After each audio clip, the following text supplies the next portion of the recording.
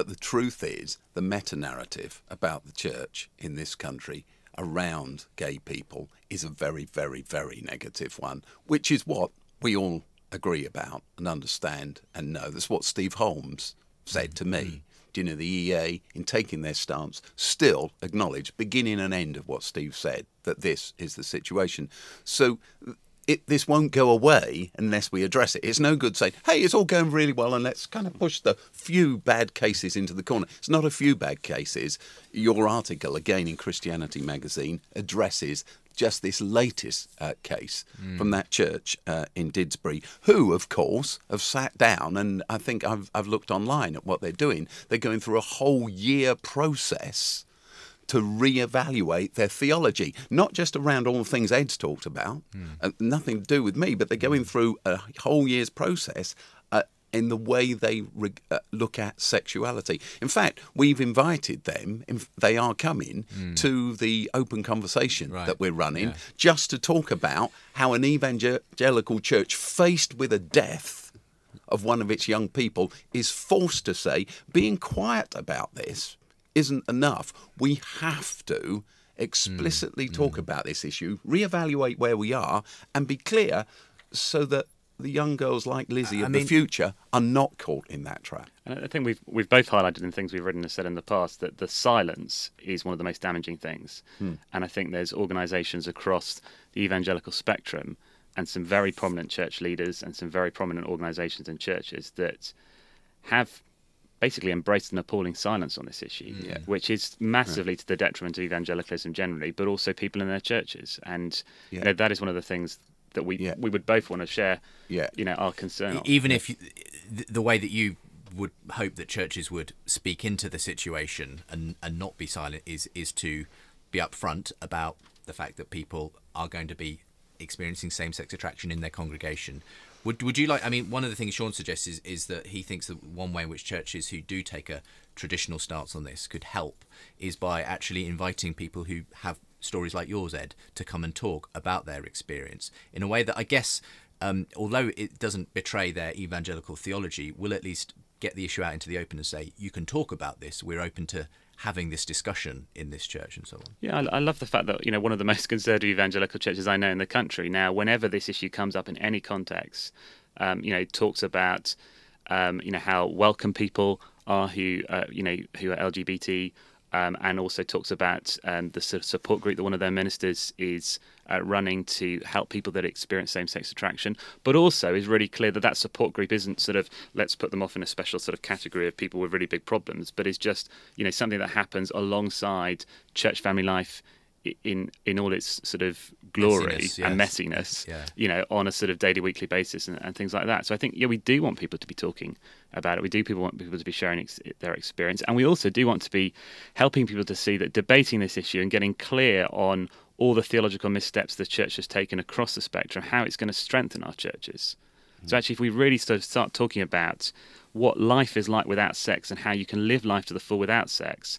That helps me in my church family, but it also helps a number of people who are single for whatever reason, single mm. parents in my church family. It helps the widowed and the widowers. It helps the divorced people in my church family. Mm. And the wonderful news is that it is possible to live a very full life without sex. And that seems to be a message the church has lost. In mm. response to the sexual revolution, the danger is we've upped sex within marriage to this sort of thing that's going to solve everything and it brings joy sure, and fullness sure, yeah. in a way that's not going to help me and the 50% of the people like me who are single in churches. Mm. I mean, but from your perspective, Steve, you, you, you, you say yeah, it's good to have that conversation mm. even in a conservative, um, you know, church as yes. well. But but for you, that doesn't quite go far enough, presumably, because there are going to be people for whom the celibate option isn't an option that works for them in terms of, of their life. Yeah, and, I, and I, I, think that's the case. I mean, a couple of things I'd say um, to, to what Ed said there. I mean, it's wonderful to hear about um, a conservative evangelical church that is truly embracing LGBT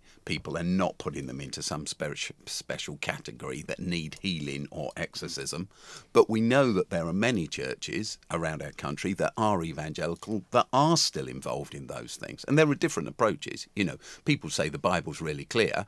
I was talking to a guy just a few weeks ago, maybe a couple of months ago, you know how time flies by, who was telling me that he was in a, um, a new church an evangelical church, member of the EA, actually, and um, they prayed for healing for him, and then they'd sat him in front of a pornographic video and prayed that he'd be turned on by it. Blimey, right. Yeah, absolutely. So that's very far from this, and Okay. I, I, I trust him. But then, of course, there are churches that that. There are lots of different views. There's the kind of church that says we believe the Bible. It's clear what the Bible says.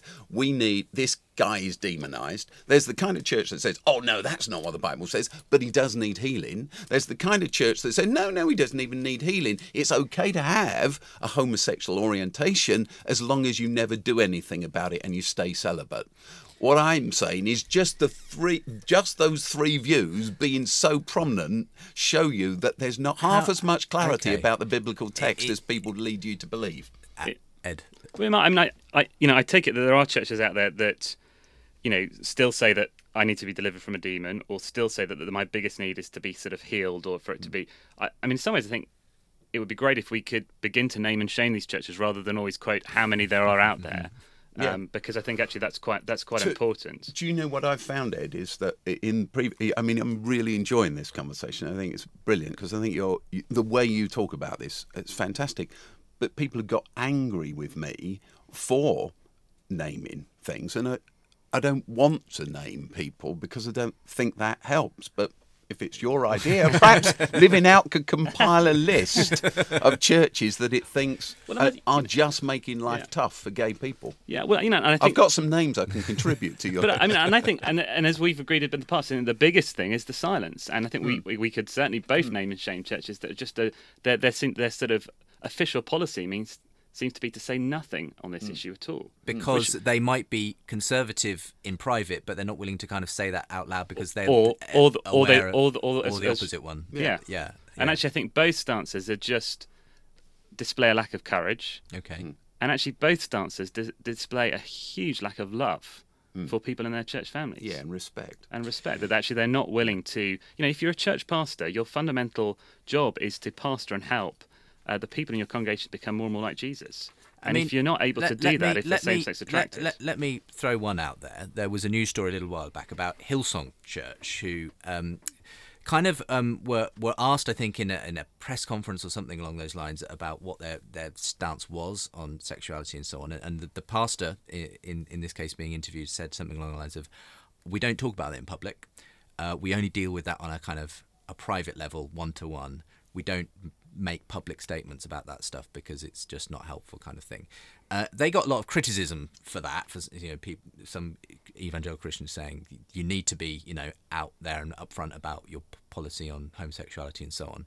And as far as I understand it, they do hold to a traditional uh, understanding of sexuality, but but they say it's not helpful to kind of do that in public. We'll we'll address individual cases because everyone's an individual in a pastoral situation sort of thing. What do you make of that kind of approach, Ed? Is that kind of is that a good thing, or do you think churches should be kind of you know saying where they stand in public? well at one a level at one level you can sympathize can't you because as soon as you say um, i believe you know the traditional understanding of the bible that the label that's that's thrown at you immediately in an unhelpful way is the homophobia one and obviously um, you know we've got to work with you know we've got to be careful in how we use that word you know there is stonewall's got a helpful definition of that word which i don't think sits with a church setting out a biblical viewpoint but immediately that that that is thrown and people mm. fear you know all the things that could come from being labeled as homophobic mm.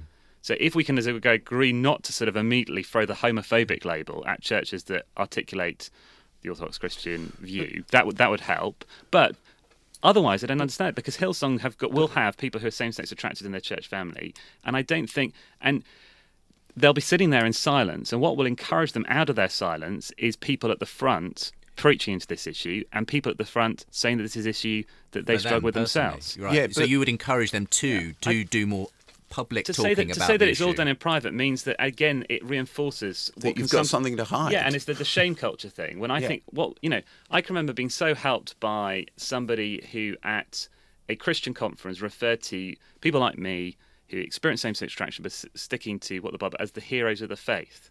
It was just a one little line in the talk, but it sort of kept me going for about two years. But you know, it just acknowledged us in public. Um, when we don't acknowledge it in public, all you're doing is making people feel as if they should be ashamed of it.